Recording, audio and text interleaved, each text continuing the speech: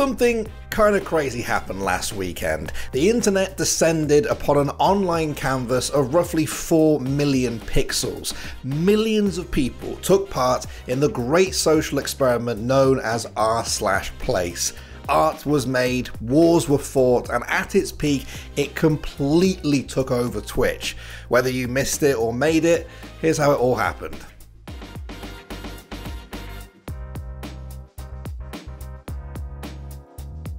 Alright guys, I spent a fairly large portion of my weekend watching this, mainly because I found it absolutely fascinating, but also because I knew I'd be making this video, so if you do enjoy it and you haven't subscribed yet, please consider doing so. We're almost at 2 million subscribers, and you could help us get there. Alright then, if you're sitting comfortably, Let's get started. The story begins with a software engineer called Josh Wardle. Josh is a former product manager at Reddit. In 2015, he helped create the social experiment game called The Button, which launched on April Fool's Day. Reddit users were presented with a button which, if pressed, would reset a 60 second timer. Sounds pretty simple, but it absolutely captivated Reddit at the time. And then on April Fool's Day 2017, he followed it up with something even greater, a subreddit called r slash place, otherwise known simply as place. Oh, and he's also been known more recently as the guy who created Wordle. Yes, as in Wordle. He's been a busy bloke. Going back to place though, the idea was simple. There was a large white canvas in which users could change the color of one pixel every 5 to 20 minutes. For the next three days, over a million Reddit users from hundreds of different communities piled onto the canvas to add their pixels. What started out as crude drawings quickly evolved into elaborate pixel art, created and maintained by organized teams of people. But very quickly, people realized that place wasn't just about creating creating art, you had to defend it. Because anyone could change a pixel, if you wanted your art to stay intact, you and your team had to be on high alert. Now, we're not going into depth here about what happened after. Other channels have done that very well over the years.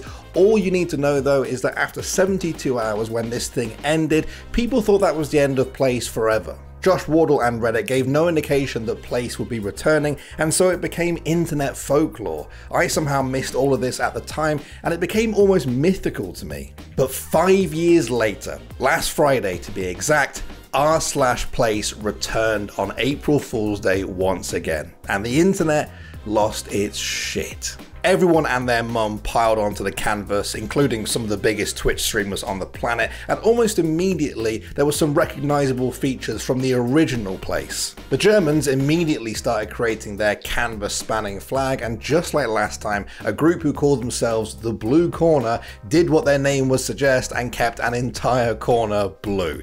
The ominous black voids began to appear in pockets too, threatening to swallow communities whole. Beautiful artwork began to pop up around the canvas. There were some stunning recreations of famous paintings by the Dutch, and there was also the ongoing hilarity of Canada not being able to get their leaf right for pretty much the duration of the event.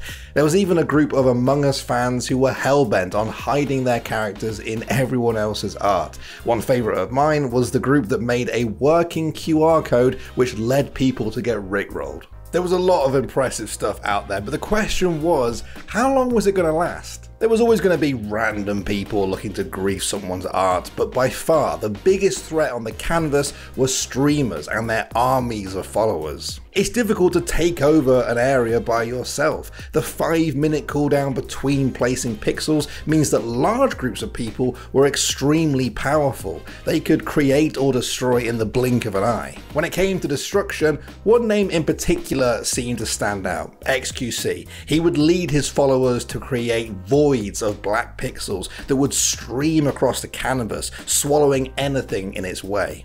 Avoid it, avoid it. Up, into this. Yep. Yeah, Chad, Chad knows how to do it. I'm not, I'm not saying anything. Guys, next push, next push.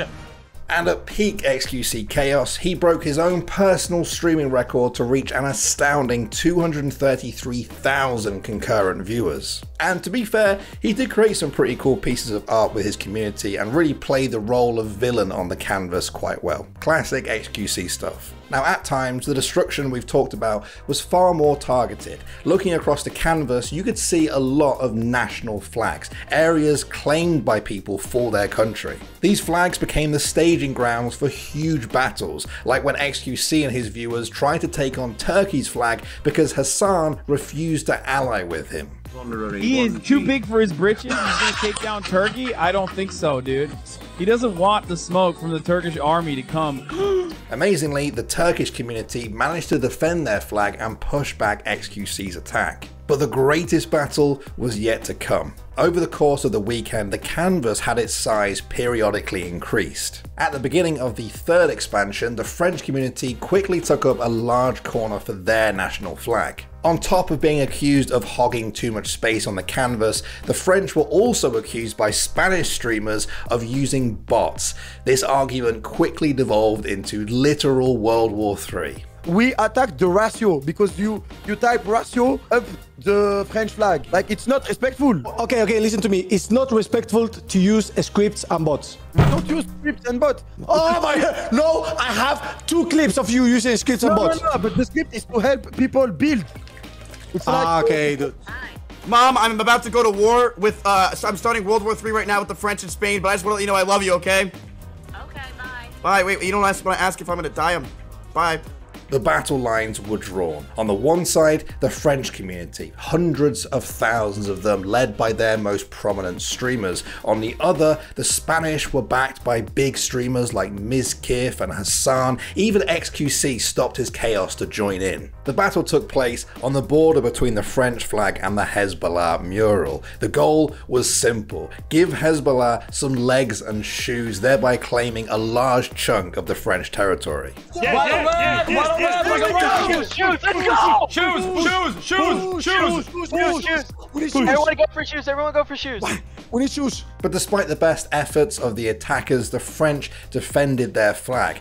There were more accusations of them botting, especially because some of the accounts they were using seemed to be very new. But Reddit is an American site. It is plausible that the French viewers simply created fresh accounts for the occasion. And this was just one battle in a larger war. A heat map posted to Reddit of the area shows just how much activity occurred there, with the creator claiming over 1 million users took part in this war alone. And that was just one storyline in one corner of the map. All over the canvas, there were countless battles, storylines, and creations going on between communities big and small. The creators of Place had told everyone that the whole thing would end on Monday, the 4th 4th of April, but they didn't specify exactly when or how it would happen. I myself was sat there doing some repairs on the Irish flag when suddenly I realised I could now only place white tiles, no more colour. And slowly it began to dawn on everyone. The creators had made it so that they weren't going to turn the canvas back into white again, we were going to do it for them. At first, there was a lot of confusion. What the is happening with France? Who's doing this? That is insane. Everything is white. You can only put white. No, you can so, only put white. Every every yeah, every that's line. Good. That's good. Take France. Oh my god. Wait, so that oh you can see god. which spots are botted. Oh, I mean, France is getting white very fast. France is like deleting itself. France is deleting itself. In the space of an hour, millions of pixels and days of work had been wiped out. It was quite poetic seeing it return back to a white canvas once again. All right, Chad in the middle, keep it up. This was a lot of fun, man. This was this was crazy. This was madness. Yeah. Also, I, I, I like it only lasts like five days, so it doesn't extend. People don't don't. Uh, it it was the perfect amount. Perfect length. Yeah, I agree. Yeah, this might have been one of the greatest streaming events ever. I highly recommend interactive maps like this one if you want to get detailed stories about every inch of the canvas. But for me, that was the big picture in all of its pixelated glory. So, what did this social experiment teach us? Well, not to sound too soppy, but people can do dope things if they work together. They can also be incredibly destructive, and people will go to literal World War III on a canvas to defend a few pixels. What does all of that mean? I don't know. People are probably writing video essays about the whole thing as I speak, but for now, it was strange, it was shocking, it was fun, and I think for many people it was great to feel a part of something. To feel, if only for a weekend, that they had a place. Our place. You know what Rick roll means.